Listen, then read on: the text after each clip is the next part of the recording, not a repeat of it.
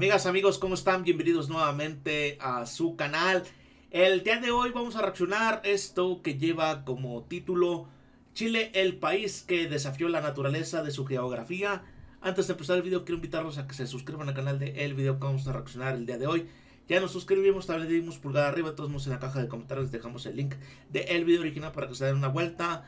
Vamos a empezar la reacción porque además eh, dura 24 minutos. Vamos a reaccionar. Obviamente vamos a tratar de hacer eh, las pausas, las menos pausas que se puedan. Este, porque no queremos alargar tanto el video. Vamos a comenzar. Vamos a empezar. Chile, el país que desafió a la naturaleza de su geografía. Los espectaculares paisajes naturales convierten a Chile en uno de los países más biodiversos del mundo. Este país, marcado por la cordillera de los Andes, es uno de los más activos sísmicamente en el planeta. La historia de Chile y sus terremotos ha sido trágica. Ciudades, puertos... Es que a mí me han mandado... Ya hice pausa luego, pero bueno. el otro día me mandaron una fotografía. Eh, no sé si estaba... Eh, me la mandó Sebastián, saludos a Sebastián. Este, en uno de los edificios, güey, y se veía tan impactante la, la, la, la cordillera. Campos agrícolas enteros han sido arrasados por sismos y tsunamis. Estos eventos han causado pérdidas humanas, económicas y también de su patrimonio histórico. En Chile se ha registrado el mayor sismo documentado en la historia, y de hecho, su geografía ha cambiado por movimientos telúricos. Como los terremotos han marcado a la sociedad chilena, ¿Por qué ocurren estos sismos en su territorio? Estas preguntas y más sobre el país del sur serán respondidas en este video. Antes de meternos a fondo, no te olvides de suscribirte a nuestro canal y activar las notificaciones para mantenerte al día con nuestras actualizaciones.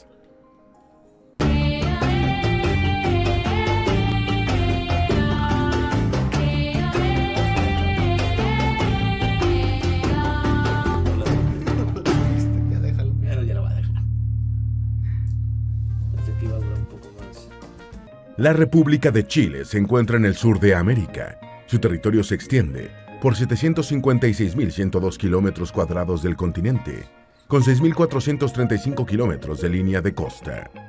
Su estructura territorial es bastante reconocible, pues es un país muy largo y muy estrecho. Mide 4.270 kilómetros entre su frontera con Perú al norte y el Parque Nacional Cabo de Hornos, al sur del país, en la Antártica chilena. Su latitud es de 445 kilómetros en su punto más ancho y apenas 90 kilómetros en su punto más estrecho, en el sur. Chile tiene 19 millones de habitantes. Su capital y ciudad más poblada es Santiago de Chile, donde viven más de 6.2 millones de personas. Junto con Uruguay y Argentina, Chile forma parte del Cono Sur, la región más austral del continente americano, que tiene forma de península.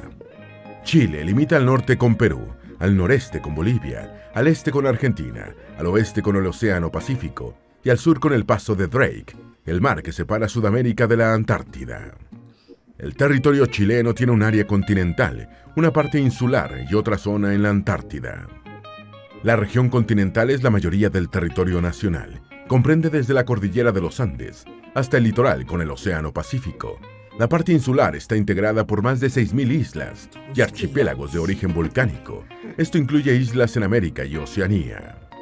En este continente destaca la famosa isla de Pascua, conocida por sus monumentales estatuas de piedra talladas por los antiguos Rapanui en el siglo IX y que se ubica a más de 3.759 kilómetros al oeste de Santiago.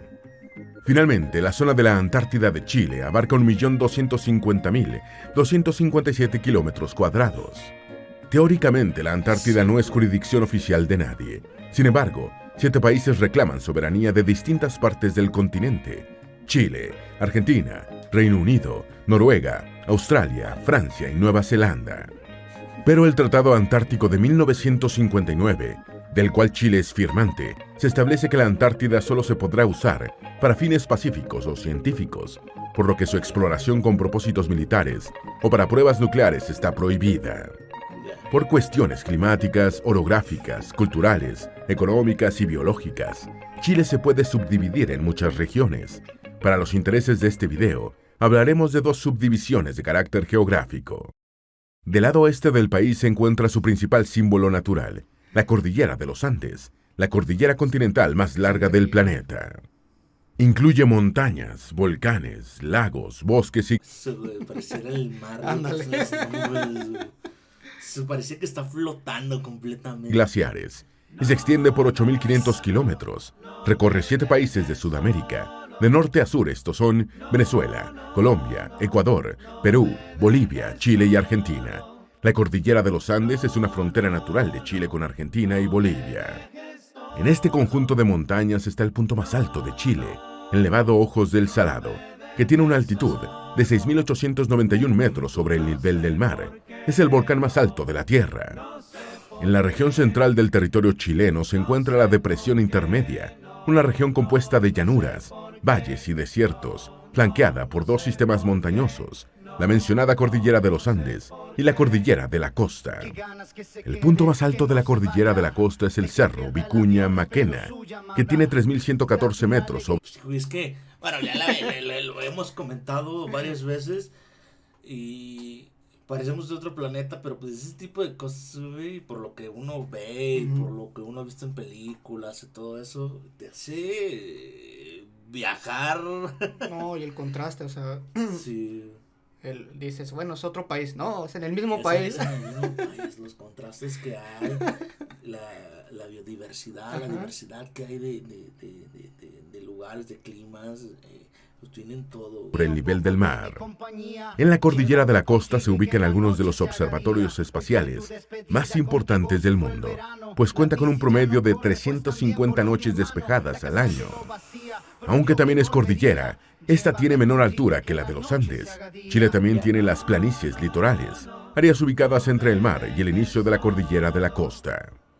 Al norte de Chile, las planicies costeras son interrumpidas por enormes acantilados, pero en la región central, las planicies son más extensas, donde se han establecido mira, güey, te sientas ahí, te pones a reflexionar, a meditar, a observar nada más, tranqui, tiras de panza, es en una casita, güey. Ahí estás a gusto. De panza, güey, te olvidas de todo. ciudades costeras, como las populares Viña del Mar o Valparaíso. En las escuelas también se enseña que Chile se divide en cinco regiones naturales. El norte grande, el norte chico, la zona central, la zona sur y la zona austral. En líneas generales, podemos decir que el norte chileno es una región desértica. Allí se encuentra el desierto de Atacama, que se extiende por 105.000 kilómetros cuadrados. Este desierto es rico en recursos minerales, como cobre, hierro, oro, plata, boro, litio, nitrato de sodio y sales de potasio.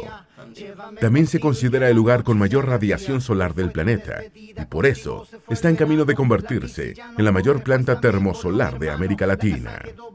En la región Chuta. Esa, güey. centro de Chile el clima es similar al Mediterráneo, con valles fértiles, ideales para la producción agrícola de cereales y granos, como trigo, maíz, arroz, también frutas, como manzana, peras, duraznos y sobre todo uvas. Chile es un importante productor de vinos. De hecho, sus numerosos valles vitícolas tienen denominación de origen controlado para los vinos que allí se producen. La región sur es la menos poblada, pero tiene quizás los paisajes australes más espectaculares del mundo. Aquí se encuentran los grandes parques nacionales de Chile con lagos, glaciares, ríos y bosques. ¿Por qué hay tantos terremotos en Chile? Chile es uno de los países con más actividad sísmica del planeta. Durante el año 2020, el Centro Sismológico Nacional de la Universidad de Chile reportó 7.800 ¡No mames! Siete mil, güey. O sea, bueno, para uno que está acostumbrado. Ustedes están acostumbradizos, y eso, y eso, no, no, no queda duda, ¿ah? Que están acostumbrados. Bueno, todavía hay gente que me dice que a pesar de que pues, hay muchos No, no, años, no. no te terminas de acostumbrar. Ujú. No mames, siete mil, güey. Y aquí, todo respeto, pero sientes uno al año. Uno al año. No, y eso está difícil. ese está- ya, ya estamos en septiembre y, Y son fechas Sí, difíciles. son fechas difíciles aquí en México. Pero si te digo, bueno, es que tampoco, bueno, donde, donde nosotros vivimos, o sea, no, sí, sí, sí hay, no se perciben. Nomás que estás en un punto muy alto. Sí, pero no, o sea, donde nosotros vivimos, pero por ejemplo en ciudades como Oaxaca, en la Ciudad de México, eh, Morelos, este, que son las costeras a lo mejor, este, pero aquí no, o sea, donde vivimos no, pues 26 sismos, con magnitudes de entre 2.5 y 7.0 en la escala de Richter, Chile tiene el récord del terremoto más potente registrado. Hablamos del gran terremoto de Valdivia, ocurrido el domingo 2 de mayo de 1960. Este terremoto tuvo una magnitud de 9.5. Destruyó ciudades enteras, provocó un tsunami que arrasó pueblos costeros, y durante este evento se reportó el hundimiento o levantamiento de la superficie. Así ocurrieron cambios drásticos en el paisaje, con nuevos relieves en el territorio y alteración en la línea de costas. Los terremotos han acompañado desde siempre la historia de este territorio. La antigua cultura indígena mapuche, por ejemplo, consideraba que los terremotos eran una expresión del desequilibrio cósmico que se corregía con ritos para sus dioses. Los terremotos han marcado la historia contemporánea de Chile, han determinado su paisaje urbano, Está hermoso ahí, Está hermoso, cabrón. Hermoso, se parece una pintuita. Usado su herencia arquitectónica colonial y han obligado a las autoridades a implementar normativas estrictas en la construcción de nuevos edificios. Pero, ¿por qué Chile es tan propenso a sufrir grandes terremotos? Bajo el territorio chileno se encuentran varias placas tectónicas que convergen a una velocidad mucho mayor que otras placas en el mundo. Además, Chile forma parte del llamado Cinturón de Fuego del Pacífico, una zona altamente sísmica que alberga la mayoría de los supervolcanes del planeta. Hace 600 millones de años en el planeta existe un solo continente, que conocemos como Pangea. Hace 300 millones de años este gran territorio mundial se fragmentó en dos grandes subcontinentes, la Eurasia y Gondwana. El territorio que hoy es Chile pertenecía a este último bloque continental hace unos 135 millones de años. Las masas continentales empezaron a moverse y eventualmente formarse como las conocemos ahora. A finales de la era Mesozoica, hace unos 65 millones de años, se comenzó a formar la cordillera de los Andes por la convergencia de la placa de Nazca por debajo de la placa sudamericana. Las placas tectónicas son como fragmentos de un rompecabezas, distribuidos en todo el planeta. Estas placas se ubican en la litosfera, es decir, la capa ubicada debajo de la corteza continental y la corteza oceánica. En el planeta existen 14 grandes placas tectónicas y otras 43 placas menores. Chile se ubica sobre la placa sudamericana, frente a las costas chilenas. Hay otras tres placas, la placa de Nazca, la placa antártica y la placa Escotia, las placas tectónicas están en constante movimiento, deslizándose, chocando provocando otro fenómeno llamado subducción. La subducción ocurre cuando una placa se sumerge por debajo de otra. Esto sucede con la placa de Nazca, que avanza hacia Chile y se introduce por debajo de la placa continental sudamericana. El proceso provoca una enorme tensión, se acumula energía y tarde o temprano se genera lo que conocemos como sismo. Pero en el caso de la región austral chilena, la sismicidad está asociada también al proceso de deslizamiento horizontal de las placas sudamericana y Escotia, que causa la falla Fagnano-Magallanes, la cual cruza la isla grande de Tierra del Fuego. Por eso en Chile se presentan distintos tipos de sismicidad, sumado a lo anterior, en la zona montañosa compartida por Chile y Argentina, inicia el cinturón de fuego del Pacífico. Este cinturón tiene un conjunto de fronteras de placas tectónicas que dio origen a un corredor volcánico que sube por toda la costa sudamericana, atraviesa Centroamérica, avanza por el Pacífico mexicano hasta llegar a Norteamérica y cruzar hacia el mar de Bering. Ahora sí estamos chutándonos todo lo que no estudiamos. No lo estamos, pero qué interesante, ¿no? Qué interesante cómo es que se producen eh, los temblores, eh, los terremotos, este, cómo está compuesta eh, Chile, la, este, la verdad me parece bastante interesante, interesante, muy interesante, muy preciso lo que está diciendo.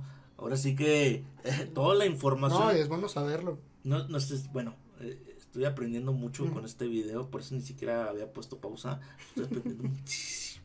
Al otro lado del Pacífico desciende por Japón, Filipinas, Indonesia, Malasia, Brunei, Papúa Nueva Guinea, y llega hasta Nueva Zelanda. El cinturón de fuego se extiende por más de 40.000 kilómetros. A su paso se cuentan 452 volcanes y algunas de las fosas oceánicas más profundas del planeta, como la fosa del Japón, la fosa de las Marianas y la fosa de Perú-Chile. El cinturón de fuego del Pacífico concentra algunas de las zonas de subducción más activas del planeta. Por eso, los territorios que se encuentran a su paso tienen una intensa actividad sísmica. Por eso Chile es uno de los países más propensos a sufrir grandes terremotos. Su convergencia entre varias placas tectónicas es la principal condición natural del territorio chileno y ha dado lugar a sus paisajes espectaculares, pero también a un largo historial de desgracias, tragedias y destrucción de ciudades, pueblos y de su patrimonio histórico. El terremoto más potente que ha registrado la humanidad.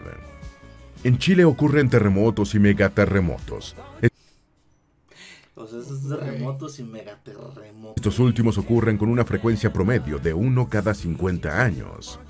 Los más recientes ocurrieron en 1960, cuando se alcanzó una magnitud de 9.5, y en 2010, con una magnitud de 8.8.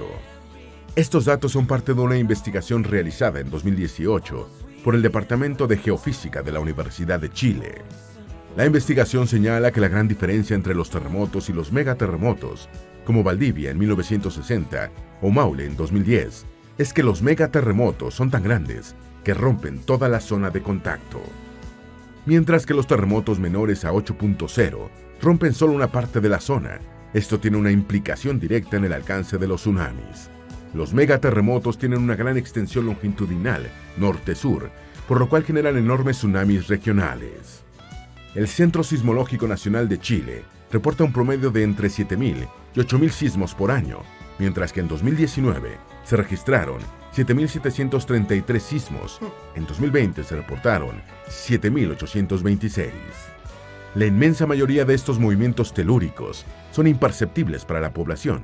Sin embargo, Chile tiene un largo historial de terremotos y megaterremotos que han dejado ciudades enteras en ruinas. El primer terremoto registrado en este territorio ocurrió el 8 de febrero de 1579. Concepción, una ciudad costera al sur de Chile, fue una de las más afectadas. El terremoto y un posterior tsunami dejaron la ciudad prácticamente arrasada. Es que apenas estás recuperando pues del terremoto o, del, del, temblor. Y eh, tienes que, o sea, tienes que todavía lidiar con que, el, eh, que venga un tsunami, O, que se esté produciendo un tsunami. Este... Se dice que fue el primer terremoto que experimentaron los españoles en territorio chileno. El maremoto se adentró en la ciudad, con olas de hasta 4 metros. Los habitantes huyeron hacia los cerros cercanos. Dos siglos después, en 1751, ocurrió otro gran terremoto en Concepción. La ciudad volvió a quedar devastada por el sismo y las inundaciones posteriores. Como consecuencia, las autoridades reubicaron la ciudad, trasladando a sus habitantes al Valle de la Mocha, donde se asienta Concepción actualmente. En el siglo XIX hubo dos terremotos que afectaron gran parte de Chile. El primero ocurrió en noviembre de 1822 y se sintió desde Concepción en el sur hasta Antofagasta en el norte. Alcanzó los 8.5 grados de magnitud y trajo marejadas que destruyeron los puertos de Quintero y Valparaíso. El segundo ocurrió el 20 de febrero de 1835 en Concepción y Talcahuano. Ah, bueno, a Concepción le ha tocado, pero sí, le han dado duro y tupido. Pero mire, estaba viendo el video y, un montón de reflexiones, este, un montón de aprendizaje. O sea, cómo a pesar de todo lo que se ha sufrido en Chile con este viéndolo desde el punto de vista este de la naturaleza, eh, todo lo que ha aguantado, este, de una forma filosófica, o sea, y sigue en pie, cabrón, y sigue en pie, Se siguen levantando. y se siguen levantando, y viene el putazo y... todos juntos para levantarse. y siguen, y siguen. Bueno, como ocurrió en el pasado, el movimiento sísmico y el tsunami siguiente arrasaron ambas ciudades y muchas otras poblaciones del centro y sur del país. Este suceso fue presenciado por Charles Darwin, quien se encontraba en la ciudad de Valdivia como parte de la expedición del HSM Beagle. En su obra Observaciones geológicas en América del Sur, Darwin aprovechó su experiencia para hablar de los cambios geológicos. En el siglo XX, el recuento de terremotos catastróficos incluye el de Valparaíso en 1906, con una magnitud de 8.2. El terremoto de Talca de magnitud 7.9, ocurrido en 1928, el terremoto de diciembre de 1950, en las cercanías de la ciudad de Calama, tuvo una magnitud de 8.0. Todos estos desastres propiciaron la creación de legislaciones como la Ley General sobre Construcciones y Urbanización de 1935. También la creación de instituciones como la Corporación de Fomento y Reconstrucción, encargada de dirigir las labores de reconstrucción tras diferentes sismos.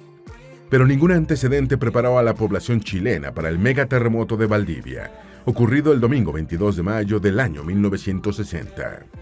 Considerado como el terremoto más potente registrado en la historia, este sismo alcanzó una magnitud de 9.5 y afectó gran parte del sur y centro del país. Los efectos del sismo llegaron al otro lado del mundo. Un tsunami con olas de hasta 10 metros de altura recorrió todo el Océano Pacífico, hasta llegar a las costas de California, Japón, Hawái, Filipinas y Nueva Zelanda. Valdivia, ciudad costera al sur de Chile, tuvo la mayor destrucción. Prácticamente toda la ciudad quedó en ruinas. Además, el río Calle Calle que atraviesa la ciudad se desbordó e inundó todo el centro urbano, el sismo liberó una energía equivalente a 20.000 bombas atómicas como las de Hiroshima y Nagasaki. Se estima que el eje terrestre se movió 3 centímetros. Otras comparaciones señalan que la energía liberada por el megaterremoto fue similar al 22% de la energía liberada por todos los sismos ocurridos entre 1906 y 2005 durante todo un siglo.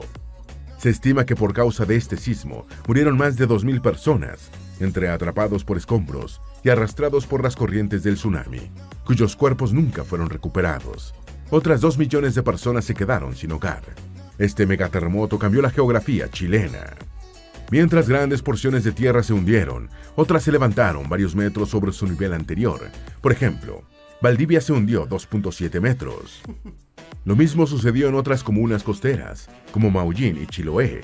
En cambio, en la isla Guafo, el terreno se alzó 4 metros, mientras que... ¿Cómo es? cómo, trabaja la naturaleza, cómo trabaja eh, Pachamama. Eh, güey. Mientras en unas partes se hundió, otras se, se levantó. eso habla de la. O sea, te, lo tratas de imaginar, pero eso habla de, de, de, de la magnitud de, estos terremotos. La fuerza que tiene. De la fuerza, cabrón. En la isla Guamblín se elevó 5.6 metros. Como consecuencia del megaterremoto, algunos ríos cambiaron su cauce. Hubo llanuras que se convirtieron en humedales, lo que atrajo plantas y especies de aves que no se veían en esas regiones. El cambio de tipo de suelo causó la pérdida de miles de hectáreas de campo agrícola y de pastoreo. El 27 de febrero de 2010 se produjo el segundo terremoto más catastrófico en la historia de Chile. Alcanzó una magnitud de 8.8. La zona de ruptura se extendió a lo largo del contacto entre las placas sudamericana y Nazca. El movimiento duró cuatro minutos y fue percibido incluso en ciudades tan lejanas como Buenos Aires. Cuatro minutos, cabrón. Imagínate, este. Cuatro minutos. No, no. Qué, horrible. Argentina y Sao Paulo, Brasil. Se contabilizaron 525 muertos, 500.000 viviendas destruidas y un total de 2 millones de personas damnificadas. De acuerdo con la NASA, la violencia del terremoto produjo un cambio en la rotación del planeta en 1,26 microsegundos y también inclinó el eje terrestre unos 8 centímetros. Chile contra los terremotos.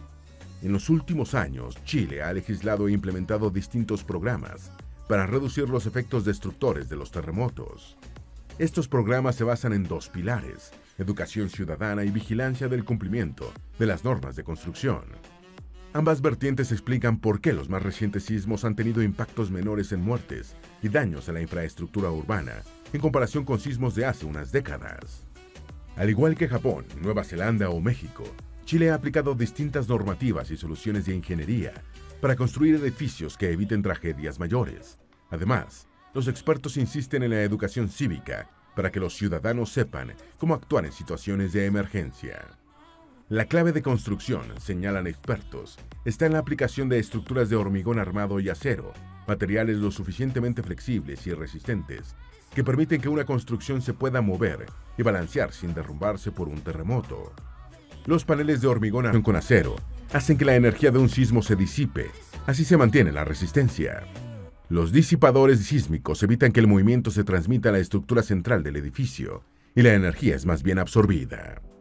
Las normas NH 433 y NH 2369 obligan a las constructoras chilenas a cumplir con ciertas normativas técnicas que regulan el diseño y la...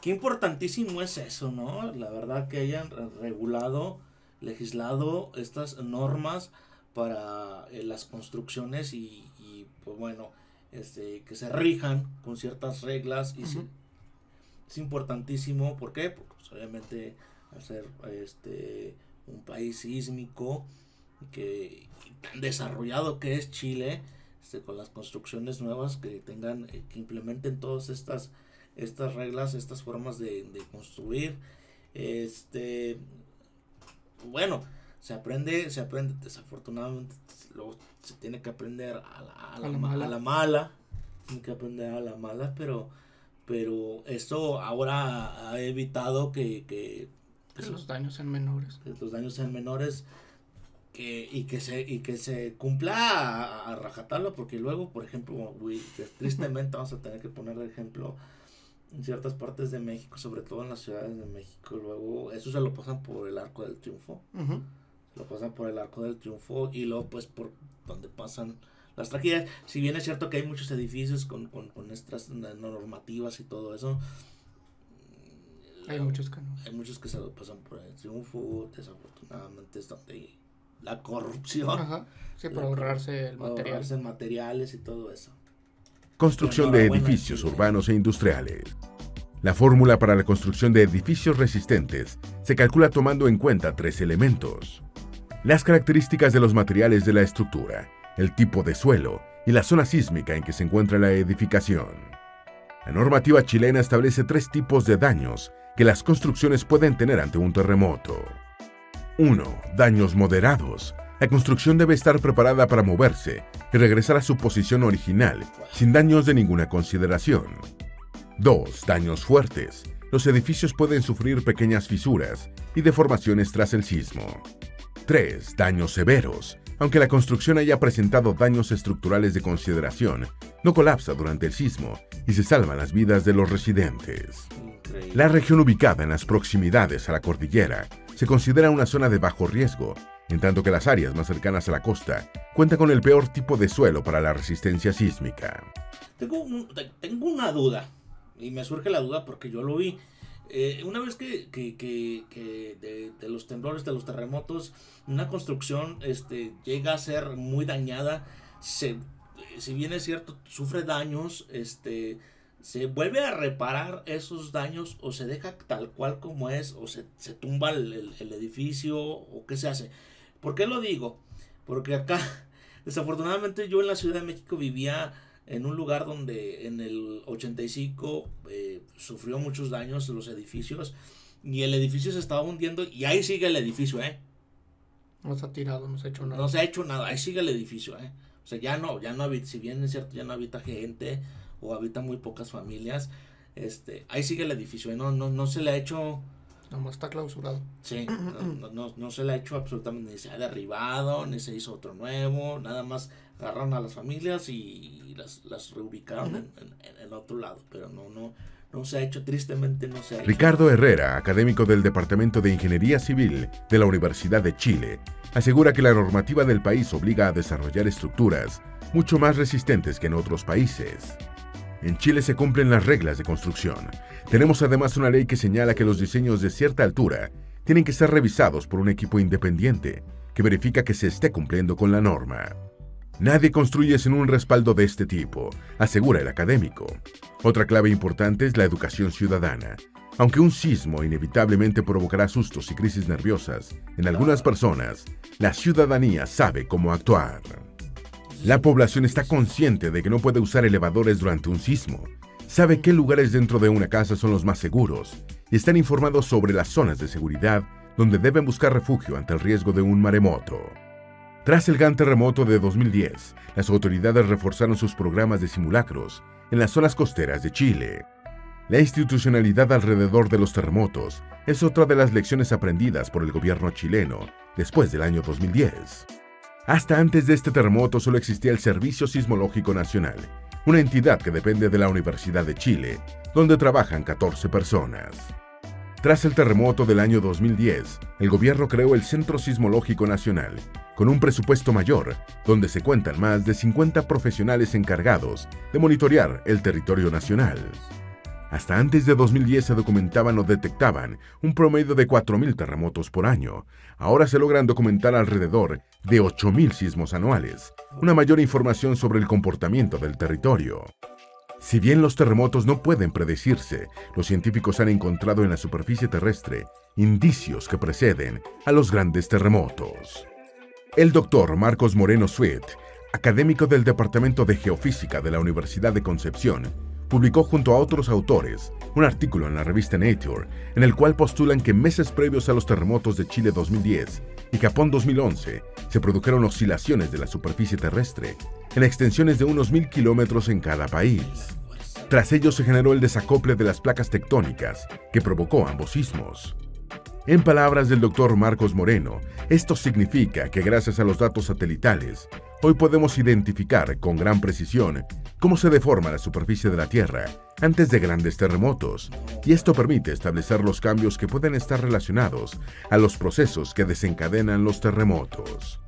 Sabiendo la historia sísmica de la zona, uno puede estimar la acumulación de energía e identificar zonas donde podría haber un terremoto en el futuro.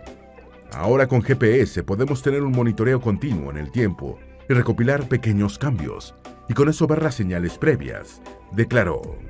La experiencia con los terremotos ha dejado en Chile importantes lecciones para reducir su impacto. Las normativas de construcción para el diseño de edificios sólidos y seguros, además de educación ciudadana, han sido claves para la relación de la sociedad chilena con su entorno y la naturaleza de su territorio.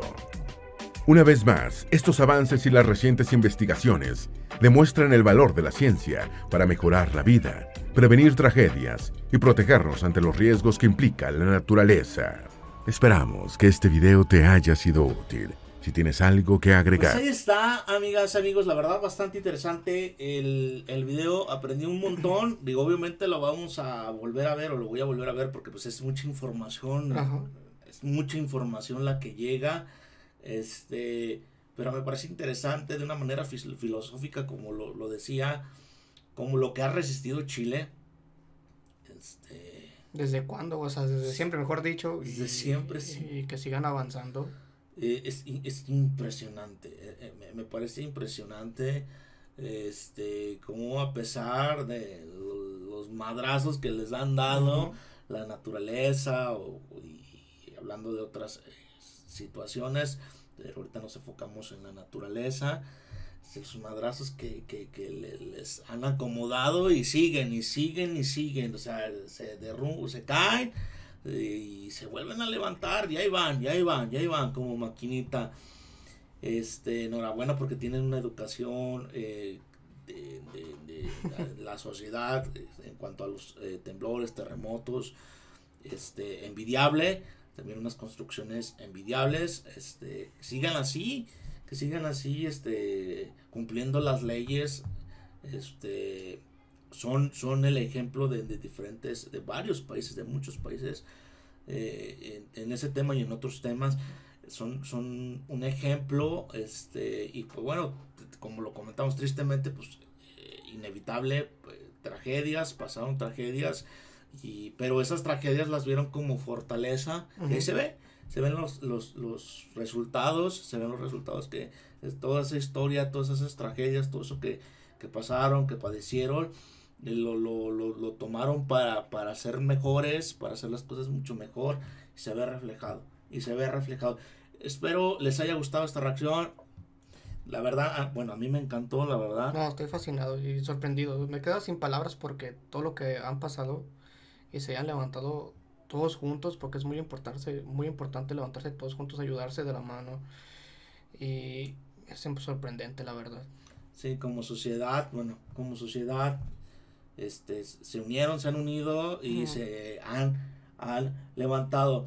Espero les haya gustado esta reacción. No se les olvide, como siempre, decirnos en la caja de comentarios a qué otra cosa quiere que reaccionemos. Les mandamos un fuerte abrazo. Hasta la próxima.